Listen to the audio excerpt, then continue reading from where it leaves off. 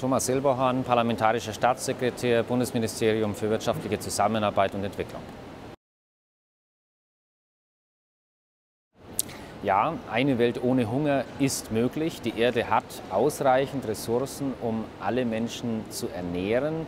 Es gibt genügend Land dafür, auch wenn die Erosion von Land ein wachsendes Problem ist bei Zunahme der Weltbevölkerung. Es gibt genügend Know-how, aber wir sind noch nicht intelligent genug unterwegs, um dieses Know-how auch auf den Boden zu bringen. Es gibt immer mehr Handelsunternehmen, die auf regionale und auf faire Produktion Wert legen. Und das sind die zwei Bereiche, in denen es durchaus noch Entwicklungspotenzial gibt.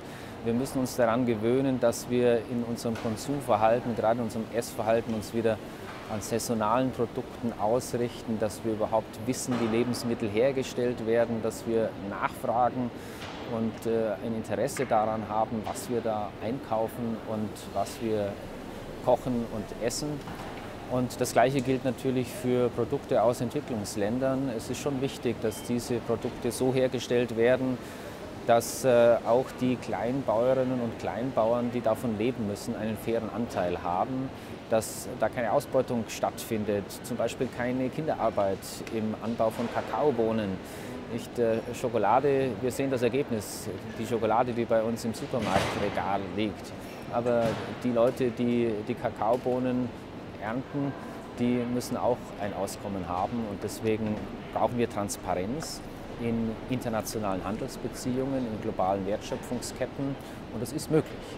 Es ist möglich, internationalen Handel und Wertschöpfungsketten so zu organisieren, dass vom Beginn der Produktionskette bis zum Supermarktregal, vom Baumwollfeld bis zum Kleiderbügel alle einen fairen Anteil haben.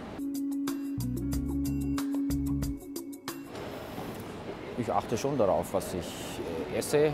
Das äh, kann ich auf der Waage auch regelmäßig kontrollieren, dass ich mich gesund ernähre. Ich weiß auch, wo meine Kleidung herkommt und wie sie produziert wird. Aber es gibt sicher Bereiche, wo man ein bisschen nacharbeiten kann. Aber in der Mobilität ist es für Politiker schwierig. Wir sind viel unterwegs und ich muss natürlich auch oft das Flugzeug benutzen. Ich weiß, was wir für einen Fußabdruck damit hinterlassen. Von daher wird das wohl eine eher überdurchschnittliche Inanspruchnahme unserer Ressourcen bleiben, wenn Politiker viel unterwegs sind. Aber das gehört zu der Aufgabe dann auch dazu.